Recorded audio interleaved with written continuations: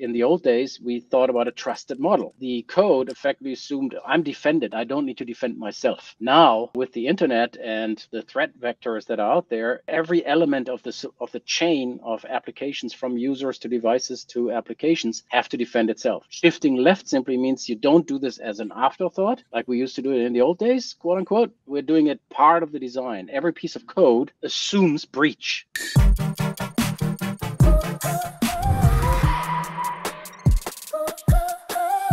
Hey, so welcome back to Armchair Architects as part of the Azure Essential Show.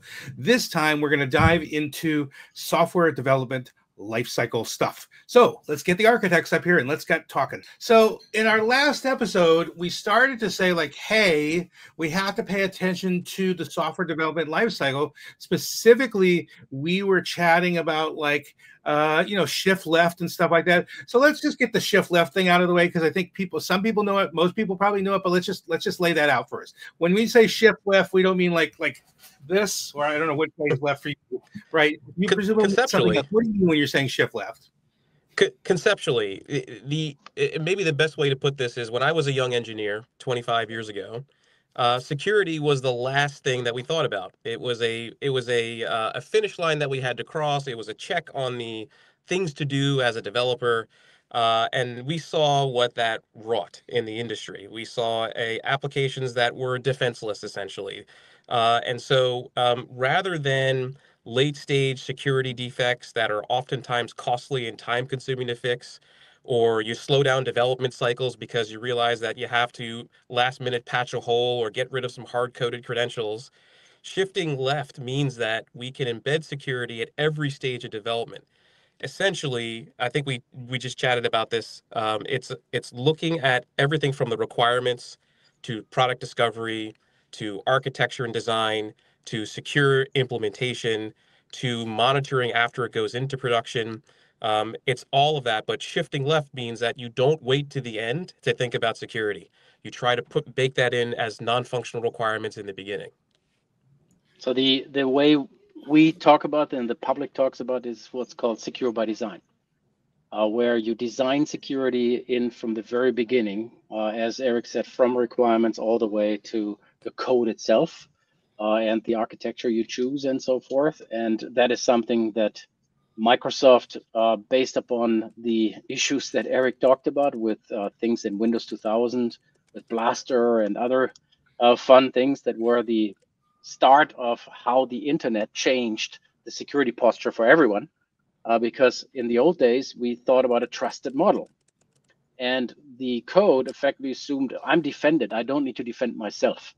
Now, uh, with the internet and the threat vectors that are out there, every element of the of the chain of applications from users to devices to applications have to defend itself. Shifting left simply means you don't do this as an afterthought, like we used to do it in the old days, quote unquote.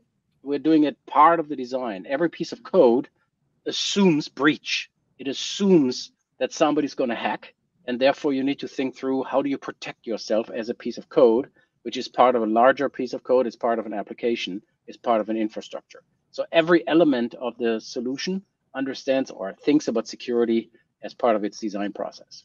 Okay, and just to, just for the just for like the two people, this is like you know when they when they show you a suit uh, how to use your seatbelt on an airplane every time you get on an airplane. Just for the two people that don't know what we're talking about when we say left, we have all of us in our head this this number line that starts. This is my left. I don't know if this is your left. Is it your left? I can't tell what you see pick, pick your left, whatever your left is. This is my left hand. Anyway, you start on one side, one side, which is the beginning where you're starting to build the stuff, and then the process goes in, in a chronological order. You know, you do a thing, you do a thing, you do a thing, you thing. And it's just saying do it earlier in that chain, in that chain of events. That's what we mean by left, yes. you know, like um, but obviously on video left can mean lots of things. So, you know, but you so, you understand. Um, yeah, so think about it this way, very practical. So uh-huh. you as a developer uh, design a piece of code. First of all, you get trained on what is secure by design practices, what is proven practices for the scenario you're looking at, because uh, security for a uh, client application that runs on a mobile app is different than something right. that's in a data center and stuff like that. So you have to think through what's going on. Um, web applications are specifically um, targetable because they are exposed right. cross-site scripting and all sorts of other attack vectors uh, that have been exploited very successfully because code was not secure and didn't think about it. So you get taught, then you write the piece of code, and obviously you're supposed to use the right frameworks, the right patterns, and so forth. And there's lots of guidance in various languages from Python to C Sharp to Java of how to do that, HTML and so forth. And then during the check-in process, and that's another part of the shift left model, the check-in process will effectively look at your code. And before AI-driven code support, it would have rejected your code by saying this code is not secure using static analysis and other techniques, um, but it wouldn't tell you how to fix it. And let's be also very clear, part of the problem that was always inherent in the secure by design, secure software development lifecycle is that assumed that developers knew what they were do doing with respect to security. There right. are some subtle things where if you do it a little bit wrong, it opens up a security issue. And those are very, very hard to, to uh, understand as a normal developer if you're not a security expert. Right. So now with uh, the static compilers would flag it, but they wouldn't tell you how to fix it. So if you didn't have a security expert at hand, it's really hard to fix it. With the new models like GitHub Copilot and other AI assistants, they actually will flag it. They will actually propose the fix and offer to you, okay, you want me to put the fix into your code base.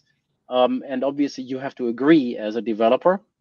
But I think that's the ultimate fix is really having the system help you uh, with these complicated patterns and this ever evolving landscape. And obviously the AI models keep up with this stuff and help you with this kind of thing. So as a developer, you don't have to be lazy. You still have to do the right thing. Um, but the system can help you write the right code and they can validate as part of your check-in process or pull requests if you're using those methods uh, to effectively go and make sure that the code you do check in is as secure as humanly possible. And, and just for people who who who don't want to just think about this super abstractly, like examples we can talk about are things like how are you serializing and deserializing your data as it comes in? Like are you know do you properly sanitize your input so that you're doing you know so that you're not trusting it you know what do you trust about that so all the ways that we now know are great ways to cause somebody who's not doing these things to fall open in, in unpleasant ways. But those are the sort of, you know, these are just concrete examples. Like you were talking about web stuff, there's also concrete examples, like whatever you're writing, like, you know, eh, you know, what am I trusting? What am I not trusting to go back to our previous stuff? Eric, it looks like you had something else to say, how to say this in the, in the left, uh, in left. I did. Normally, normally in these sessions, I fly off the handle and go way too deep and way too fast. And Uli does a good job of pulling us back. But this time, he created a nice on ramp for us to talk about uh, static, dynamic, and interactive application security testing. Um, okay. So what Uli was talking about prior was static application security testing or SAST, uh, and that's a scenario in which, as he described, you take a system of intelligence, a SAST uh, framework, and you point it to a code base, and its job is to identify using a white box testing method um, any types of configuration files, dependencies, hard-coded passwords, secrets, insecure coding patterns, and input validation issues, all that kind of stuff. And right. it's supposed to let you know about it. And as Uli said, in this day and age, remediate it, you know, and, and it'll tell you what you need to do. Dynamic application security testing, which uh, is a black box method, basically says, um, I need a running application, and now I'm going to actually poke at it. So I'm going to send it malicious payloads, I'm going to automate, you know, well-known attacks and penetration methods. Yeah, I'm going to black hat it, and I'm going to figure out, you know, how many injection vulnerabilities you actually have, from SQL to cross-site scripting and all that kind of stuff. Any type of security misconfigurations, and I'm going to tell you about those. And then SAST and DAST combined is interactive. So it instruments the app uh, utilizing agents uh, inside the runtime environment like Java, .NET, or Node and it monitors function calls and it looks at the source code associated with those function calls because it knows about both.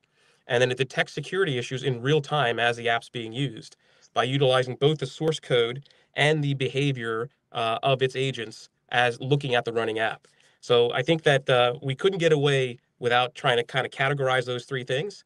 And in a shift left model, you have to introduce those at the right times of the entire life cycle And that includes after you go to production. So there's CI/CD considerations associated with this. So Right. as the app's being deployed, you want to run your SAST, DAST, and your um, IAST. Can we say that? That IAST component, uh, all to continually get this confidence that the app is being looked after. Yeah, so there are two points I would add. So first of all, um, David, you might remember uh, our colleague um, uh, Michael Howard wrote the Bible. pausing right here because we're about to head into a really important topic, which is secret management, how you take that into account when you're doing development. So I hope you'll join us on part two of this conversation as part of Armchair Architects in the Azure Essentials show.